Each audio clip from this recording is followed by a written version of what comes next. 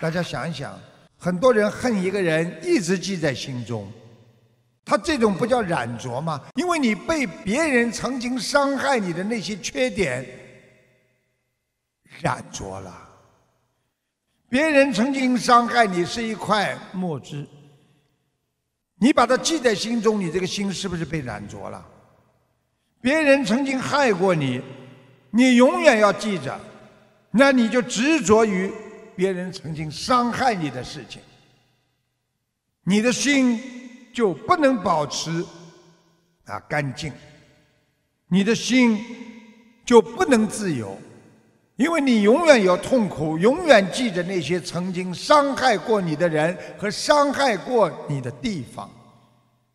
所以，有的人学佛学到后来，只要谈起他曾经伤害别人或者别人伤害他的事情，他一下子就会变得颓废，一下子就会变得孤独。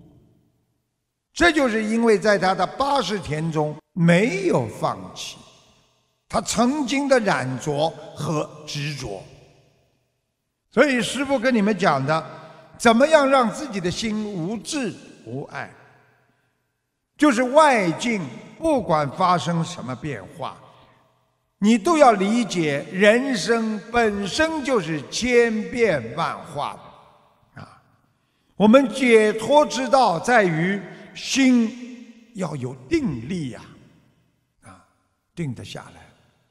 别人在你面前，不管说谁好谁坏，你自己要有一颗良心本性，来验证它，来化验它，来知道这件事情到底对与不对。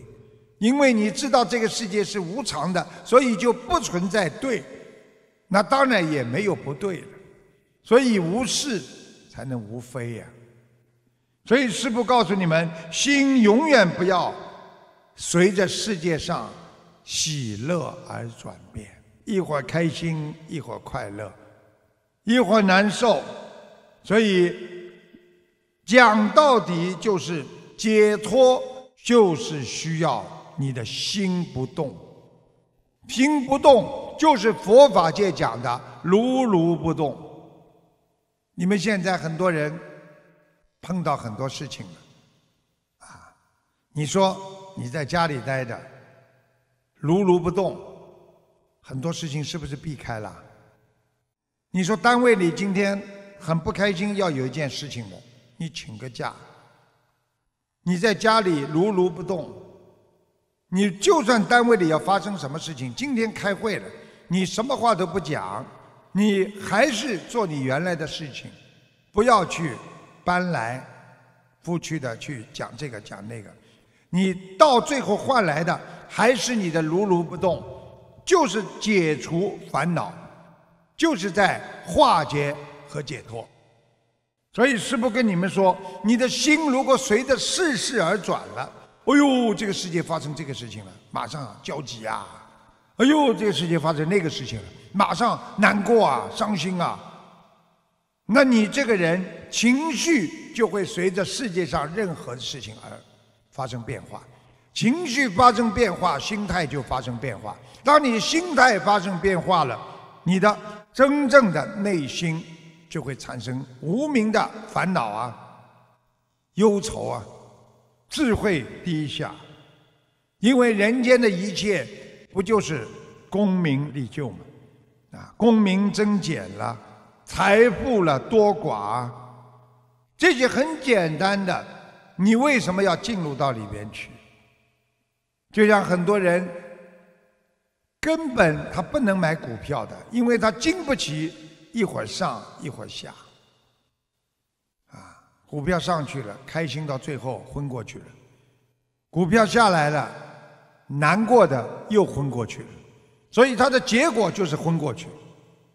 所以不管做什么事情，你的心。喜怒哀乐不要随着世界上外境的变化而跟着变化，你的幸福感就随之而上升。如果你天天跟着世界上的所有的事情而变化，你慢慢就觉得这个世界不幸福了，你慢慢就觉得我很不开心了，你的幸福感会随之而降减。所以，我们学佛人经常要懂得一句话，叫“幸福只在一念间”。你今天这个念头觉得我很幸福，你就是在幸福中。如果你今天觉得我很痛苦，你的意念在痛苦当中，那你就活在痛苦中。关键就在于你的心不动啊。所以我们经常讲“不以物喜，不以己悲”呀，就是这个道理呀。我们不要去跟着外境，世界上天天无常在变化，变动那是正常的，不变动那是恒常的。所以功名利禄的变迁不应该引起我们学佛人太大的情绪波动。有就有了，没有就没有了。有就是你的，没有就不是你的。你用这种心态，绝对不会影响你的幸福感。所以学佛人为什么幸福？因为我们拥有菩萨的智慧，我们能够做到如如不动。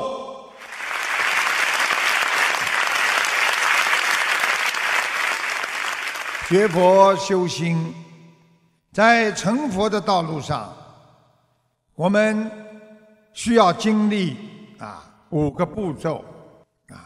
今天师父跟大家讲，成佛道路上有五个步骤，啊，我们会经历啊资粮道、加行道、见道、修道、无学道五个阶段，啊，资粮道，资就是啊这个资本的资，粮就是粮食的粮，资粮道，和加行道，啊，还是属于。凡夫境界，啊，那么如果你进入了加行道之后，啊，修行者就具备了世俗菩提心。所以这里师父跟大家讲世俗菩提心，啊，就是你在人间会拥有菩提的心。师父跟大家一步一步讲，有很多人学佛。见到一点空性，哎呀，学佛了，想开了，没有了，无所谓了，见到一点空性了吧？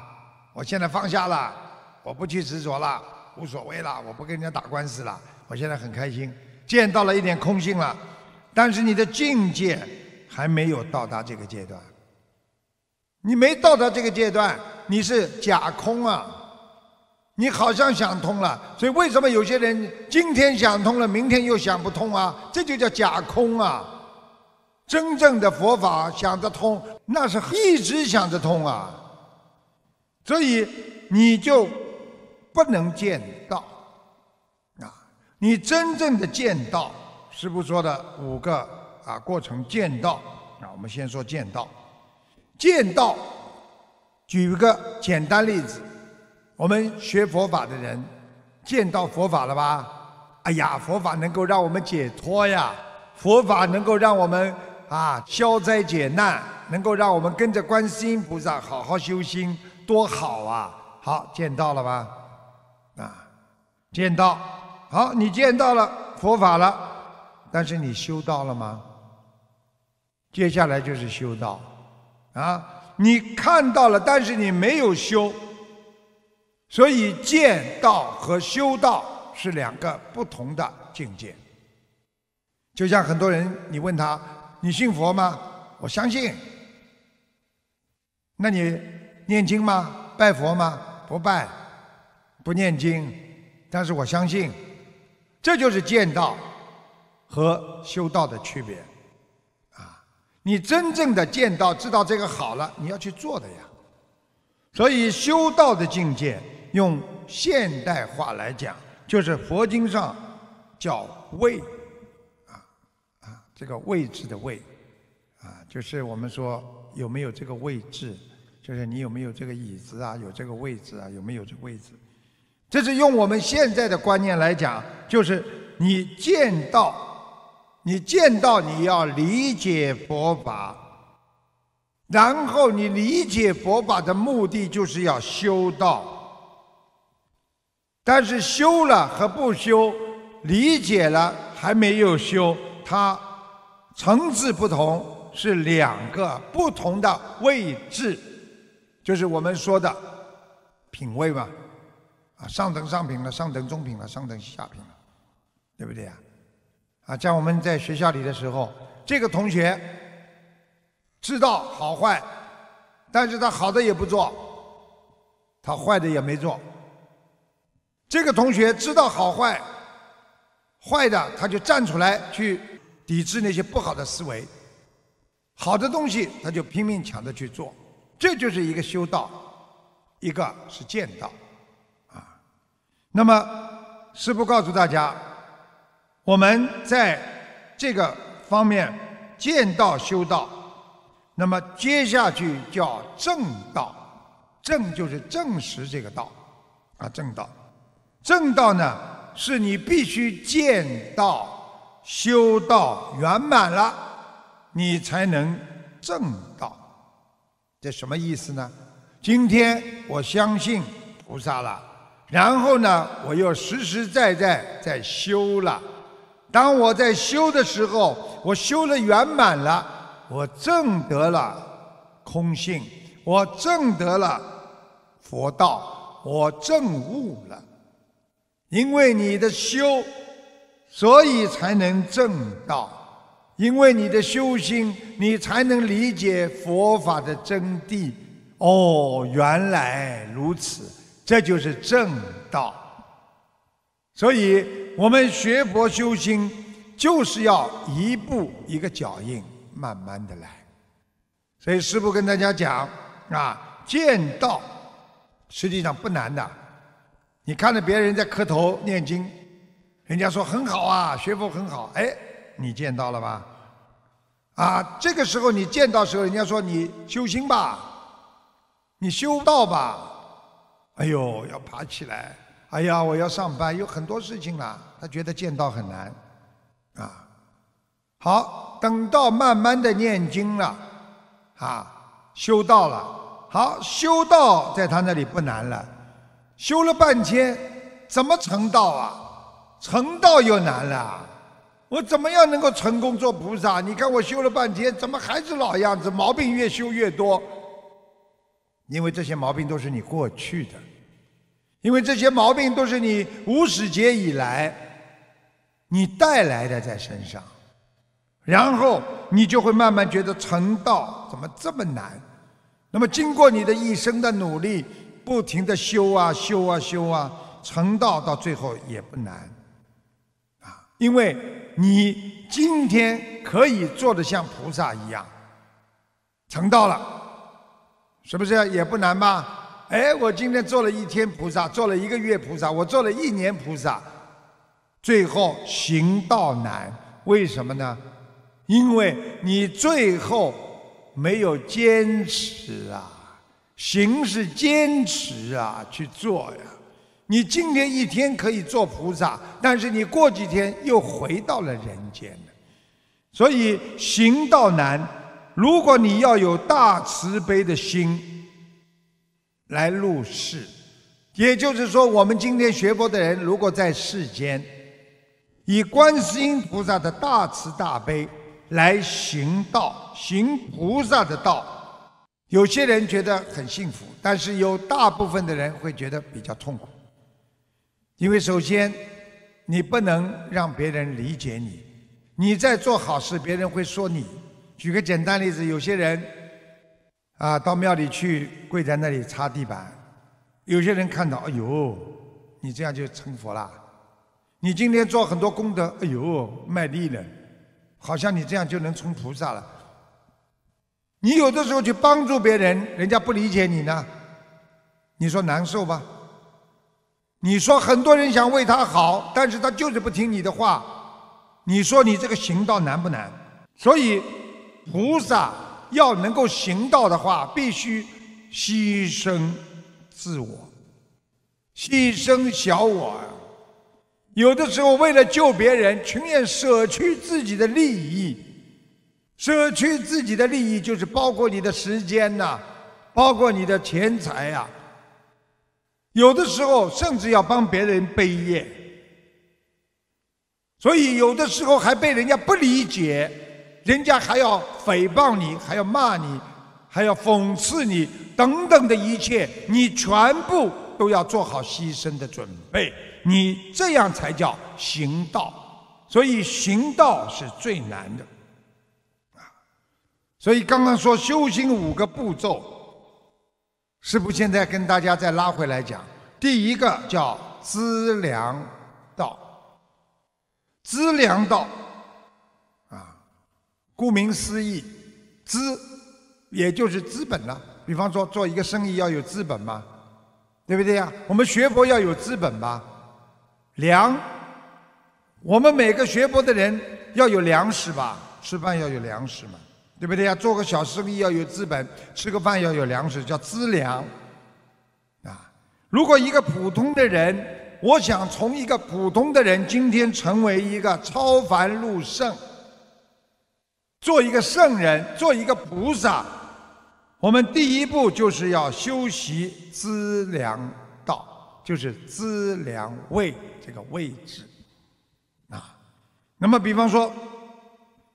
我们一个普通的人，出家也好，在家修行也好，你知道佛法，哎呀，真好，我能够悟道成佛。那么首先要看看你成佛或者修成正果的话，你悟道的本钱有没有？我们说人要成佛，要能够理解佛，要有本钱吗？有，有两种资粮的本钱。一种叫福德资粮，还有一种叫智慧的资粮。也就是说，当你要想能够成佛、成菩萨、成圣人的时候，你看看你这个人有没有福气呀？你有没有道德呀？撒谎的人能有道德吗？欺骗别人的人有道德吗？这种没有道德的人，时间长他会有福气吗？所以福德福德，首先要知道自己有没有福德资粮。你这个人有福气，有道德，你就能成佛的资粮拥有。第一步，这第二步啊，那你这个福德有的时候不够，有一点道德。啊，或者有一点福气，啊，投胎投了一个比较好的人家家里，家里有点经济来源，各方面比别人好，你至少还能放生啊，啊，对不对啊？那么这些都是你的福德，但是福德它可以培养的，你不停的去做一些有道德的事情，你的德就会越来越多；你不停的去帮助别人，你的福气会越来越多，它可以培养的。所以资粮道里边福报就是这么培养的，啊，所以做人开始，你看我们中华传统文化里边讲到儒家、道家、佛家都讲一个，我们做好人要有道德，啊，其实做人很难很难的。你看看现在做人有几个人做得好的？碰到自己的利益，马上就伤害别人的利益，他能做人做得好吗？所以修心学佛，佛经上讲，福德不够的人，你怎么样修持都没有用的。啊，你看看有些人，啊，修了一辈子了，碰到自己的利益，马上缺德。有的人修了一辈子了，讲的天花乱坠，到了最后碰到自己的福的事情了，我不愿意出来，我不愿意花时间，我不愿意财布施、法布施、无畏布施。那么这种人，你叫他怎么想？所以一辈子不会为别人想，他没有福德，他修不好心。所以师父告诉大家，学佛告诉你那是真的。你不管做哪件事情，你不要去考虑能够得到多少，你首先要考虑我为别人付出了多少。这就叫道德啊！这种人会有福气的啊！你记住了，你多帮助别人做一件事情，你自己的智慧马上就会充裕啊！这个道理的原理是可以，你从别人的事件当中增加自己辨别能力。你帮助别人某一件事的时候，你是不是会增加自己的辨别能力？啊，这件好事坏事你都会知道。从别人的恒心和你自己的恒心当中，你去帮助别人解脱烦恼。你从这件帮助别人的事情当中，你又了解了自己有多少的耐心和恒心。所以替别人做件好事，就多一份好报。多一份智慧，所以我们学佛行菩萨道，就是要有这种牺牲小我、多帮助别人的大无畏的这种啊，我们佛陀的精神。啊，帮助别人拥有善缘，你帮助别人，跟别人结善缘，你的福报就够了。然后你做了好事，就会成道成佛。所以根基很重要，这就叫资粮道。所以很多人听佛法，听别人一讲专业术语了，马上就听不进去了。师父告诉你们，我就是用白话佛法在跟你们讲解这些。资粮道就是你自己的道德呀，你学佛要有基础的。你一个妄语者，一个两舌者。你一个人连品质都没有，你怎么能成菩萨？啊，你怎么能够走向成佛的道路啊？就需要你这么一点资本呐，因为这是福德的资粮，福德资粮。那么第二，啊，叫智慧资粮，就是我们说叫有福和智两个资粮。任何一个人，你学佛的人，就算你有福气，你闻到了佛法，你这个人也是很有道德，也很善良。很多人学了一辈子，听也听不懂佛法，根本不能理解佛法里面的真实含义，对佛法里边的那些智慧的资粮，什么都搞不懂。你缺少智慧，你也不能成圣成佛呀。所以资粮里面有两种，佛经上叫福智二言。福就是福气的福，智慧就是又要有福气又要有智慧的人。这种人在人间会产生两种庄严，叫福智二言。福德庄严，智慧也会让你在人间变得非常的。庄严。